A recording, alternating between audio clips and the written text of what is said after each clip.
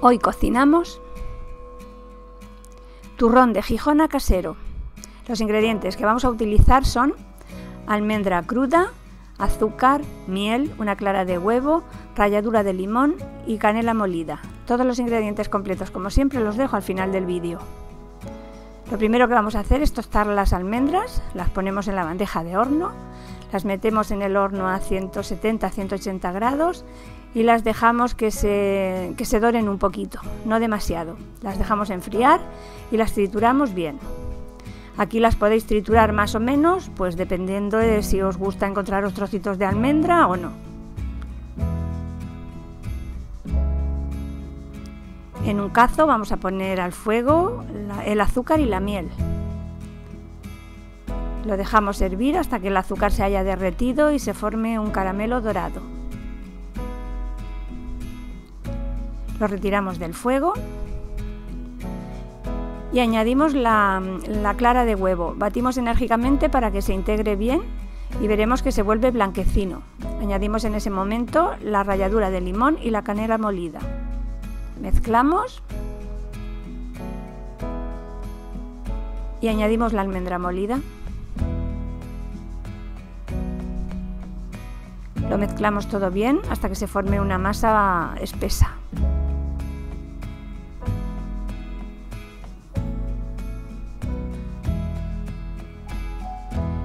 Forramos el molde con papel de horno, si es de silicona no es necesario. Echamos la masa.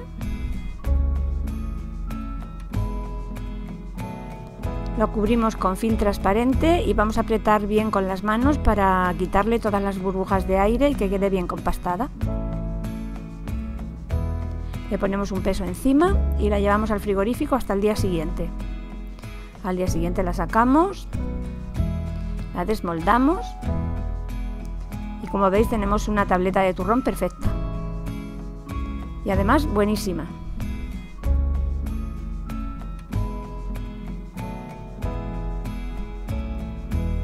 Si os ha gustado el vídeo, os invito a darle a me gusta y a suscribiros a mi canal. Y os espero en la próxima receta.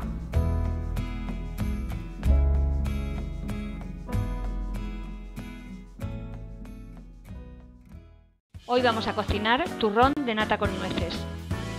Para hacerlo necesitaremos almendra molida, nueces, nata, azúcar. Los ingredientes completos os los dejo al final del vídeo. En un cazo vamos a poner la nata y le vamos a añadir el azúcar. Lo pondremos a fuego medio y dejaremos que empiece a hervir y el azúcar se diluya. Cuando se haya diluido, Apagamos el fuego y añadimos la almendra molida.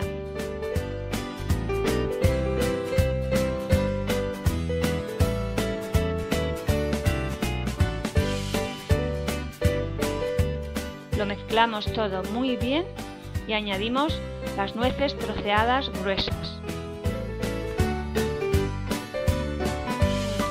Lo mezclamos todo hasta que se hayan integrado.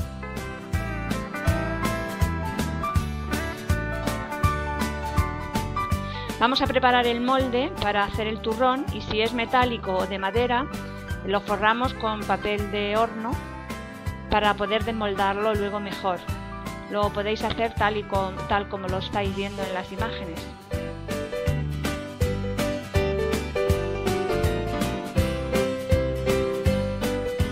Echamos la mezcla del turrón, lo unificamos todo muy bien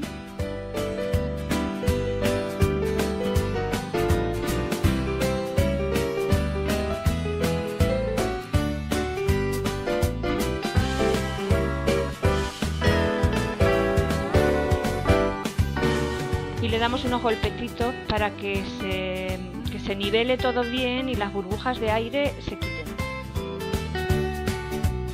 Lo metemos en el frigorífico y lo dejamos enfriar hasta el día siguiente. Una vez que ya se haya enfriado y haya endurecido, le quitamos, lo desmoldamos y le quitamos el papel. Y ya tenemos un estupendo turrón casero, mucho más rico que los que se venden en los supermercados.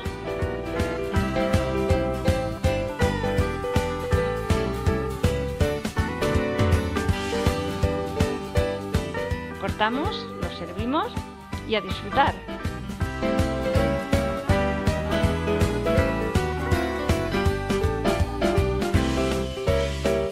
Si os ha gustado, os invito a darle al me gusta y a suscribiros a mi canal de YouTube.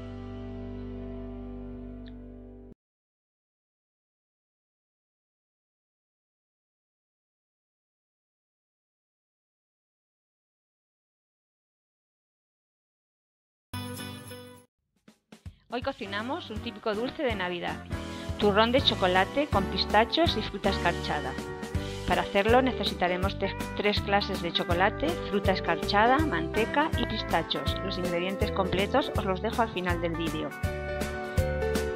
Eh, comenzaremos forrando el molde, si es, de, si es metálico o de madera, con un poco de papel de horno. Si es de plástico o es de silicona no es necesario forrarlo.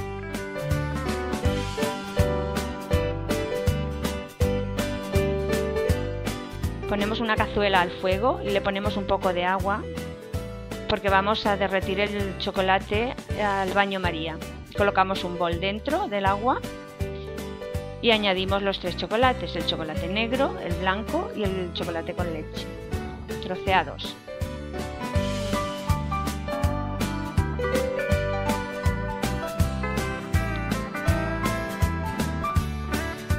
Echamos también la manteca y lo dejamos a fuego medio bajo hasta que el chocolate se derrita. Lo vamos moviendo de vez en cuando para que se vaya incorporando todo bien hasta que esté completamente derretido todo.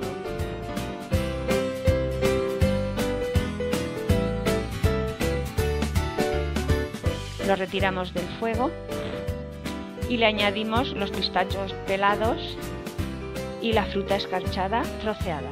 Lo mezclamos todo bien.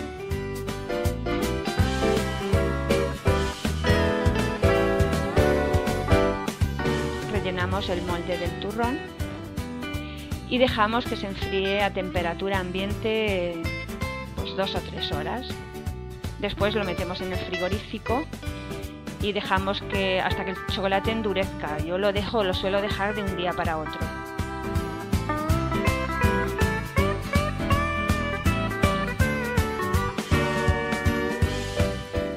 Golpecitos para que salgan las burbujas de aire. Una vez que ya ha endurecido el chocolate, el turrón, lo desmoldamos y le quitamos el, el papel. Lo ponemos en una bandeja y lo troceamos y ya tenemos un rico turrón casero para degustar estas navidades. ¿Queréis un trocito o dos? Si os ha gustado, os invito a darle al me gusta y a suscribiros a mi canal de YouTube. Os espero en la próxima receta.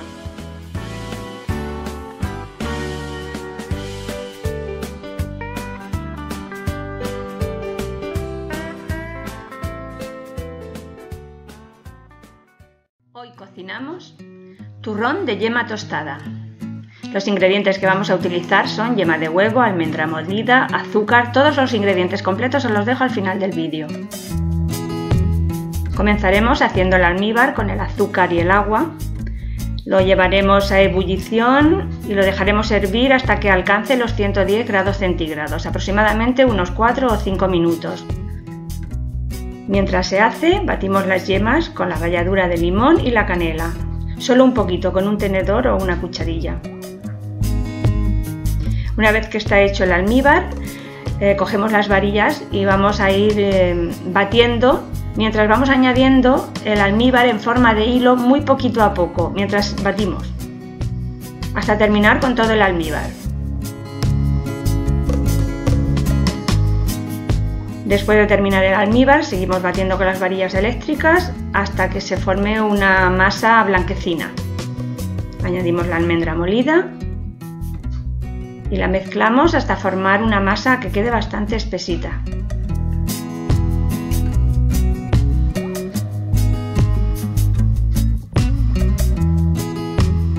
¿Veis cómo, cómo queda ahí en las imágenes?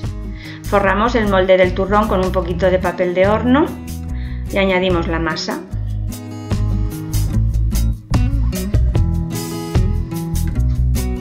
La aplastamos bien para quitar las burbujas de aire y alisamos bien la superficie para que quede toda igualada.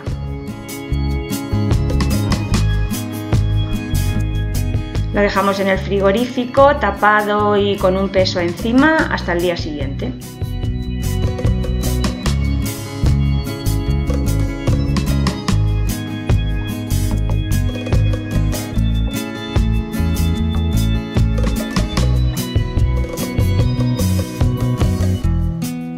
Al día siguiente lo desmoldamos, lo colocamos en la bandeja donde lo vayamos a servir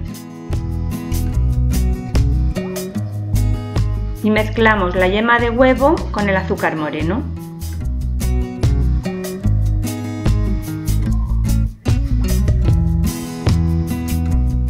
Pintamos la parte de arriba del turrón con esa mezcla y la podemos meter en el horno y gratinar hasta que quede doradita por arriba o con un soplete vamos quemando el azúcar y la yema hasta que se quede dorado. Y una vez frío ya está listo para degustar. Está buenísimo. Si os ha gustado la receta os invito a darle a me gusta y a suscribiros a mi canal y os espero en la próxima receta.